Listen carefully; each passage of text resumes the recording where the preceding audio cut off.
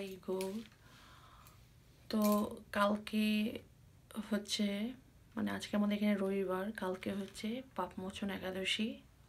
তা আপনারা সবাই একাদশী পালন করবেন। একাদশী ছাব্বিশটা পরে বছরে।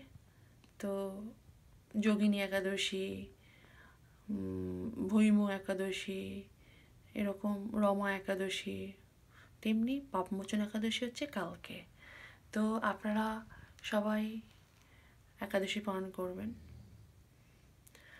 বাঞ্চা, কল্পতরু, কৃপা, সিন্ধু, বই বুচ পতিতানাং পাবনে বৈষ্ণব বই নম নম।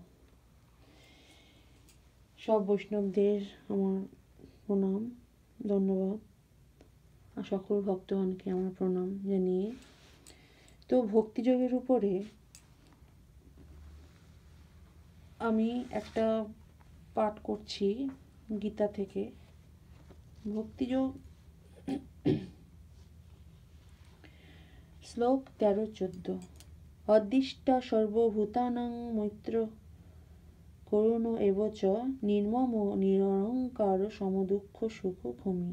সন্তুষ্ট সততং যোগী যথাত্মা দৃঢ় নিশ্চয় মর্যপিত মনোবুদ্ধি জয় মধুক্ত সেমে প্রিয়।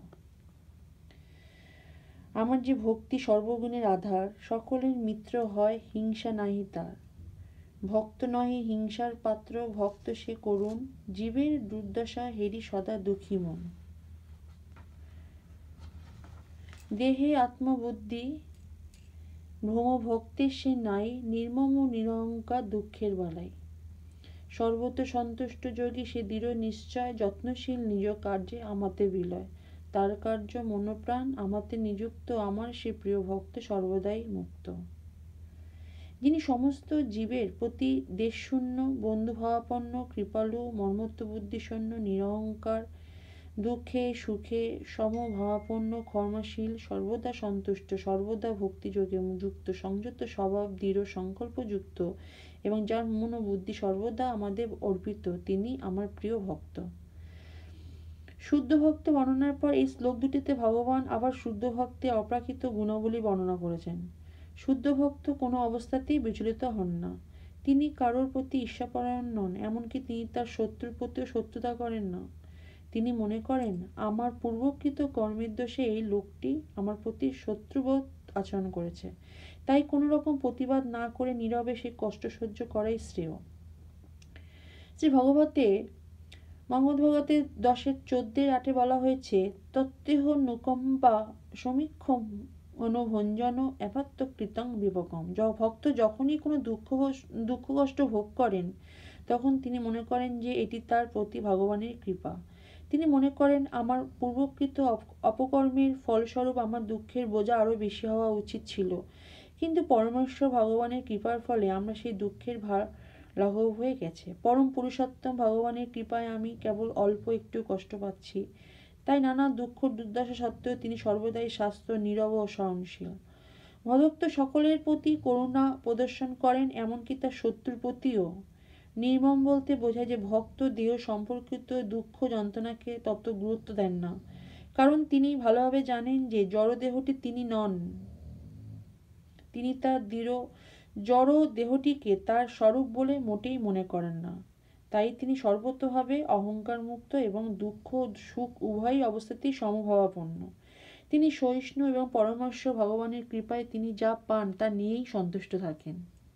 অত্যাধিক কষ্ট স্বীকার করে কোনো কিছু পাওয়ার জন্য তিনি অধিক প্রয়াস করেন না। তাই তিনি সর্বদাই উৎফুল্ল। তিনি হচ্ছেন যথার্থ যোগী, কারণ তিনি তার গুরুদেবের আদেশ শিরোধার্য করে তা পালন করতে স্থির সংকল্প এবং যেহেতু তার ইন্দ্রিয়গুলি সংযত, তাই তিনি দৃঢ় সংকল্প। আপনারা সবাই গুরুভক্ত হবেন, কারণ গুরুকে প্রচণ্ডভাবে ভালোবাসলে আপনারা সব কিছু দেখবেন, সবসময় আনন্দে থাকবেন। মানে না, গুরু কৃপা হি কেবলম তেমনি গুরু ছাড়া আমাদের কোনো গতি নেই। তা আমরা গুরুর মাধ্যমেই ভগবানের কাছে পৌঁছাতে পারি। আমরা গুরুকে ভালোবাসলে গুরুর মাধ্যমে আমাদের নিয়ে যাবে। জগৎ গুরু হচ্ছে নিত্যানন্দ প্রভু। নিত্যানন্দ প্রভুর কাছে আমাদের নিয়ে যাবে। নিত্যানন্দ প্রভু আমাদের পথ দেখাবে, মহাপ্রভু। মহাপ্রভু আমাদের কলিযুগের ভগবান। তখন মহাপ্রভু আসবে। আমরা ফার্স্টে সবসময় বলতে পারি না যে গৌর গৌর গৌর গৌর আর নিত্যানন্দ প্রভু হচ্ছে তার আগে নিত্যানন্দপ্রভুকে স্মরণ করতে হয় সবসময়। হ্যাঁ আর তার আগে অবশ্যই আপনারা গুরুর আশ্রয় নেবেন। গুরুকে ভালোবাসবেন, গুরুর আদেশ মতো চলবেন। বলে না, গুরু কৃপা হে কেবলম। হ্যাঁ তেমনি।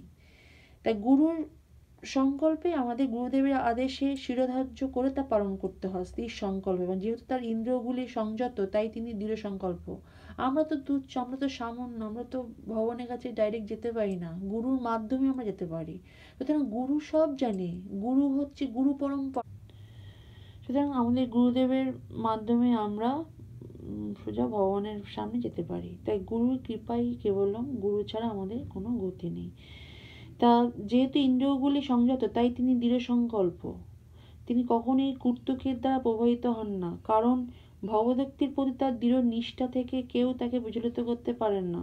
তিনি সর্বতভাবে সচেতন যে শ্রীকৃষ্ণই হচ্ছেন শাশ্বত চিরন্তন ভগবান।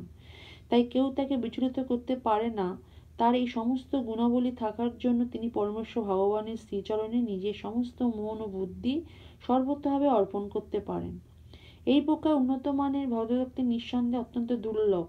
কিন্তু ভ- ভ- ভগবদ্ভক্তির ভক্তিযোগের বিধিনিষেধ পালন করে স্তরে অধিষ্ঠিত হন। অধিকন্ত ভগবান বলেছেন যে এই ধরনের ভক্ত তার প্রতি প্রিয়, তার অতি প্রিয়। কারণ পূর্ণ কৃষ্ণ ভাবনাময় তার সমস্ত কার্যকলাপের প্রতি ভগবান সর্বদাই সন্তুষ্ট। হরি বল। বাঞ্চা কল্পতরু কৃপা সিন্ধুব্য এবচ পতিতানাং পাবনব্য বৈষ্ণব্য নমো নমঃ।